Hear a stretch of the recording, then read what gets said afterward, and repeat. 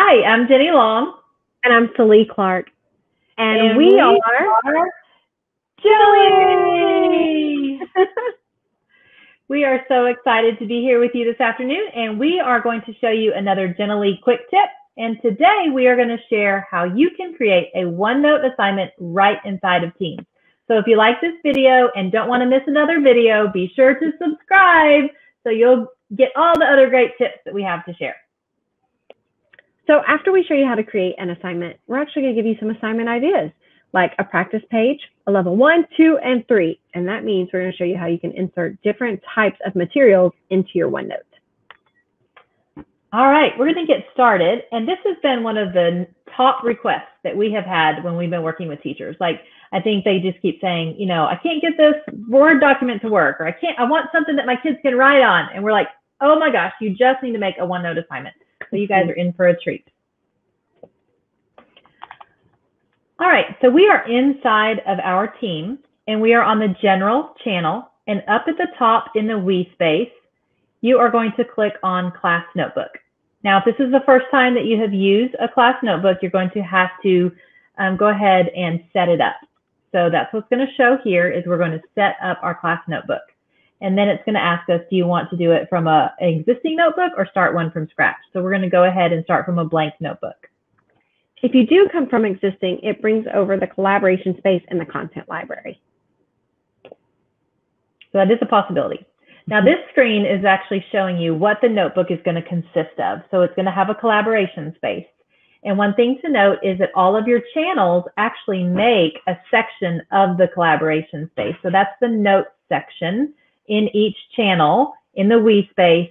That is the, the collaboration space. It is the notes section of the, the notebook. So it's kind of kind of hurts your head to think about it, but just so you know, each channel does have a piece of a collaboration space. Then the next section is the content library. And this is a great place where you can put maybe some study resources or things that you want students to have view access to, and they cannot edit that content. You know, Jenny, a lot of our teachers mentioned putting like anchor charts here so that way students can always come back and review and see those materials. I think that's a great idea. And then the next part, and this is very important, is the teacher only. So this is kind of your workspace where you're going to build your lessons, and this is um, accessible only for you. Your students do not see this section. And then the last part, which is great, is the individual student notebooks. So it's going to already set up an individual student notebook for each one of your students. And that's what we love about Teams is that auto setup part of this. So each one of your students has their own portfolio built right here. So we're Oh going to go ahead and I can't wait to see these portfolios at the end of the year. They're going to be know, it's going to be awesome. Go ahead and click next.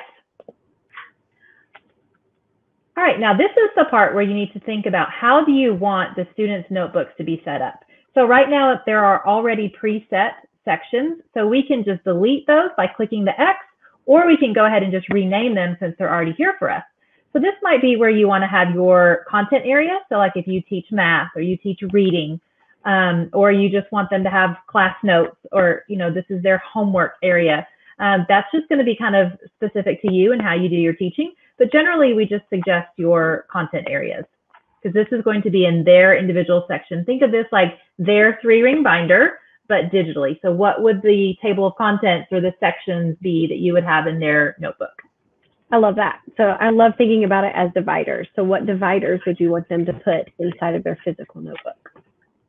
Awesome. And you can always add more later. It's best practice to kind of go minimal at first and then Mhm. build and add more um, afterwards. You don't want to have too many and then wish that you would have um, only had a couple. So go ahead and click create. And then it's going to take just a second to get the notebook ready. All right, let's go ahead and go to one that we already have prepared. Here we are in our notebook. So it says, welcome to class notebook. And what's great about OneNote is it actually comes with some pre-populated pages, which are just full of information. So you almost have like your own little tutorial built into the notebook already. So you can actually delete those pages if you want to later, but it's just great to read over them so you understand, especially if you're new to OneNote. So when we open this up, you're going to see that we have some welcome pages for us. We have our collaboration space. And when you click on it, it's going to um, open up the pages behind that main section. So you have your sections, and then over to the right, we have our pages, and then we have the body of the content on the um, far right. So those are the pre-populated pages. And if you wanted to get rid of them, you can just right click and delete those. And voila, it's gone. and then we have our teacher only, and this is the place where you're going to build your content. Um, and then we also have our individual student notebooks, and you can see how in the individual student notebooks, you're going to see the sections that we um, went ahead and created for them. All right, so what's great about this is in the teacher only section, this is going to be where you're going to create. So um, when you first open it up, you're going to have just that intro page that talks about teacher only. But if you want to add additional sections, this is important. Go ahead and click on the section that you want the pay, the next section to populate underneath. So I'm going to click on math, and then at the very bottom, it's going to say plus section. So I click that, and then I'm going to name the section. We already have a couple built in here, so let's see what Allee comes up with for a creative section. I'm coming up with it. It's going to be a good one. okay. My favorite. And then say okay, and look, that section populated right underneath wherever I was clicked on. So that's important you know, to think about. Jenny, lunch really might not be a good one. So you know what we could do? We could rename it. Oh, that's a good idea. So let's rename it. If I right click on it, you have lots of options when you right click, which is great. Do. I'm going to rename the section. So now, Jenny, what section would you like to add? Um, how about, uh, do we have notes? No, notes? let's do notes. And you can also reorder them. Like if I wanted them in a different order, you can just drag and kind of move them around too, which is nice. All right, so you can see here that I have my sections built. And then I'm going to go ahead and click into, let's say, math. And once I click into my math section, I've already added some pages. So next on the right side of those sections, I have pages. So anytime I want to add an additional page, if I, wherever I'm clicked and I click add the page, there's going to be another blank page populate underneath. So good practice would be just to click on that bottom one, add another page, and then you're going to build a blank page underneath. So this is where you're just going to build the lessons that you're going to add into your assignment. Let's talk about how to build. The first thing you want to do is add a title. If you don't have a title, it will not let you assign it. So we definitely want to make sure right now where the cursor's at, it already prompts you to start typing. So let's add a title. We'll do practice since this is our practice run. Oh, we already have practice. We'll do practice too. All right.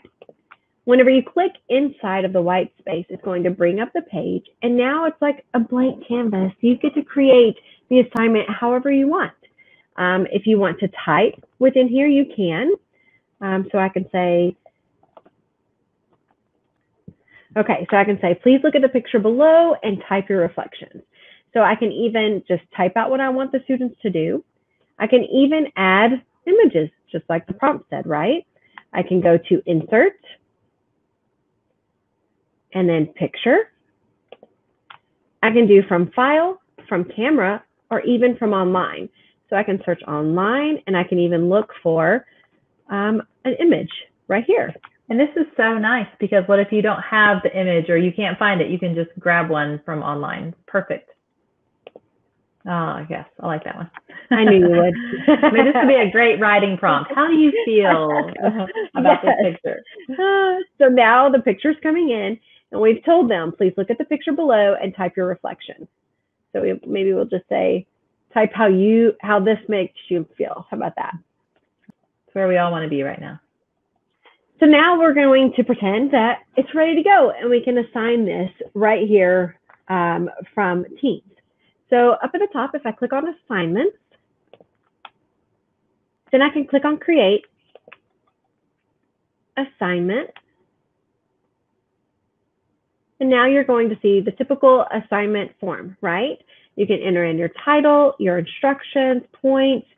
However, under add resources is where we're going to add our OneNote page.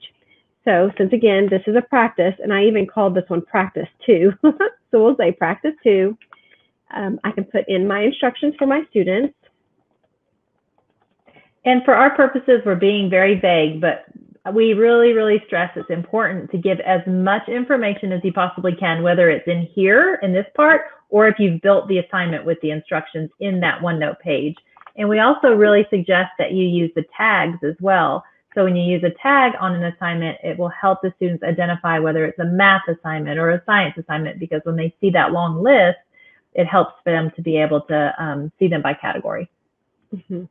We love the tags. Even for me as a teacher, I like being able to quickly glance at it and see mm-hmm. what kind of mm-hmm. assignment mm-hmm. it is. Here underneath instructions, I've typed in my instructions and now I'm going to add resources. So I'm going to click on this is add where the, This is where the magic begins. it's true. and now right over here on the left, you see class notebook.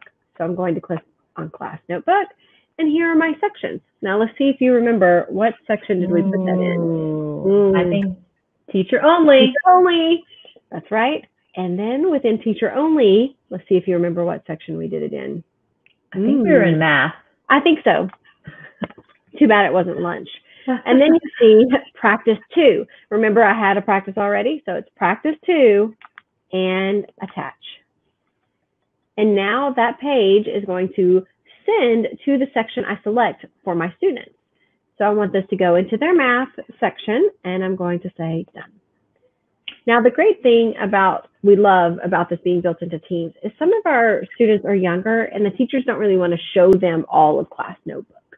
Uh, but the great thing is students don't even realize that they're inside a class notebook. They think they're doing an assignment right here in Teams.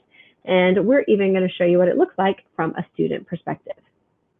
But I think it's also great because those students, and when you get to the point where you want to show them the whole notebook, this is a portfolio of all of their work. Every assignment that they do lives in this notebook, and they also have it to go back to and reference later to study. So it, just stays with them. So that's the beauty of it, also. And you know, as a teacher, it's a great way to have a portfolio with you everywhere you go. You need to go into a meeting for a student and you need to show the student work. I go straight to my notebook, click on that student, and all of their work shows up right there in underneath that tab. So it really is a great way to um, have a portfolio as a teacher as well. So I'm going to finish filling out my assignment. I can assign it to the whole class, or I can even select specific students. I can do a due date and even send it to a specific channel, which we love. I'm going to click assign. And there it is. Now it has shown up for my students. Let's see what it looks like from the student view. All right, so now we're in as a student in our pretend class. And you can see right here the assignment posted, or the student can find the assignments under assignment as well. I love this because it automatically kind of gives you a to-do list. Any white bar I have up here is I know I need to complete it and turn it in um, as a student. So it's a great way to have your own little running to-do list uh, within your team. So I'm going to click on the assignment. It's going to tell me the instructions, but our favorite part is the book with the speaker. And you guys know what this is. Immersive reader. We love it. And so I can click here, and that's why Jenny was saying, make sure you fully explain yourself in the uh, instructions because guess what? It can be read to them. So make sure you fully tell them what you want them to do. Um, so I'm going to click here now on practice two. And this is where the magic is. Check it out. It is a canvas right here for my students. They don't even know they're in class notebook. They have no clue. All they see is this page with simple controls at the top and a white canvas for them to work with. How great is that? That is amazing. And that's the biggest thing that we get is people say, how can I um, put in an assignment where students can draw on it? So look at all of the tools you have. You can insert. So if you were asked to insert a picture or insert an image or something, you can do that as well. You can draw when you click on the uh, draw tab at the top. You can pick a color. You can draw and write on this. And if you have a touch screen or you're on um, a device, you can use your finger or a stylus. So that's really nice. And you also can type directly onto this page. So you can just click and you can start typing. And what's really great about that too is when you're typing, you can actually move those text boxes around to wherever they need to be, which is nice. So they can just click in here anywhere they want and begin typing or even right underneath the picture and begin typing how they feel. Um, and so when they're done and they've written out what they want to say, they can go up to close right up here and as soon as you click close, look, my mouse is almost right on top of turn in. They click turn in and it automatically turns in for them. Isn't that great? That's awesome. I know. Now let's look at what it looks like for the teacher, right? Because This is the hard part is going back and forth and seeing both views. So then as the teacher, I'm going to go back into my team. I'm going to click on grades and I'm going to see all of my assignments laid out for me. Oh, look, here's practice two. And I can see that Hunter turned it in. So if I click the three dots and I open his work, ta-da, I can see what he said, which was just relaxed, right? And that was great, but maybe I want more from him. Maybe I want him to really expand and give me two sentences, right? I can come right here in feedback and say, I am so glad this makes you relax. Tell me a little more. I love that. So the student has an opportunity to go back and do some revising and adding in a little bit more or making corrections. You know, before I send this back though, can I show my favorite part? Being a teacher, especially of a pre-K student, uh, back in the day when I used to be in a pre-K classroom, my favorite is insert. And look at this, underneath the three dots, you can insert stickers. Stickers. What? so now I can give my students stickers for the work that they did. How much fun. Now this one is my favorite though, because they're editable. So I can even click on this one and I could say high five, Hunter. Mm-hmm. Ta-da, done. And now that sticker is going to pop right here into his OneNote page and he'll see it whenever he goes to view it. I can even move it over here. I love the stickers. Me too. So now I can return it to him. And he's going to get a notification that we have returned his work.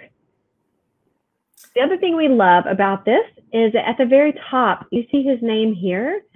I can click the right arrow and go right here to the next person in my class and see their work if they've actually clicked turned in or not, which is also another great way to help my students along in the process as they're doing work. So even here, maybe Emily hasn't turned it in. I can leave her a note and give her some feedback before she actually turns it in. And then I can go to the next student and so on.